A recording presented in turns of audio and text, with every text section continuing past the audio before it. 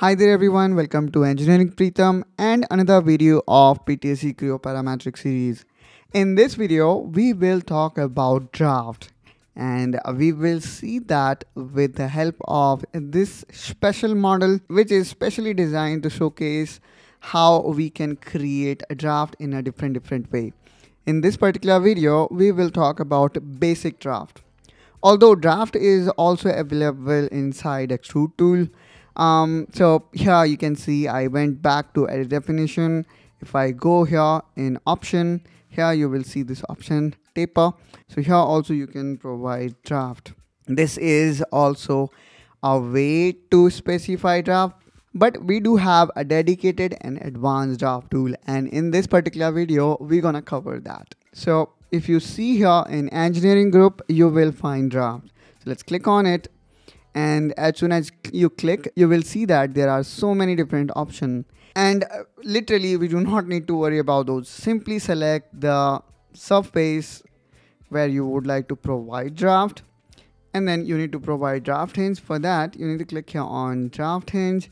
Now i'm gonna provide this one as draft hinge okay? And then we need to provide pull direction. So pull direction is up and now here we go how easy it is to provide draft in PTC Creo Parametric. Let me repeat the same steps again to make the thing more clear. Let's click on draft. Let's select the draft surface. Now this time I'm going to select two surface. Now we need to specify the draft hinge. So I have specified the draft hinge and then you can see the pull direction is also defined. Now simply we need to pull it like this. And you can actually provide a negative draft as well. So in this way guys you can provide draft inside PTC Creo parametric. Now let's see another example with another kind of geometry. Here we can see this is cylindrical. Let's click again on draft. Now I'm gonna select this rounded surface now um, let's select the draft hinge so draft is, is the point or I would say a line where the draft value is zero. So you can see that since we have selected this plane as draft hinge, so we can see the draft is being pivoted from this plane, but at this particular plane, there is no draft. It is just like, uh, for example, the door hinge, okay? the door open and close but the hinge remain at the same place. So the hinge is similar to like that. So if I change for example the hinge position from the top to bottom now you will see we have changed the position from where the draft is being added.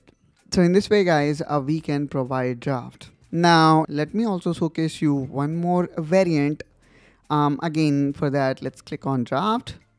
Now I'm gonna provide draft this time on all four sides and instead of top and bottom you can also select other entities. For example this plane. So I'm gonna select this plane. And now you will see this plane became the draft hinge.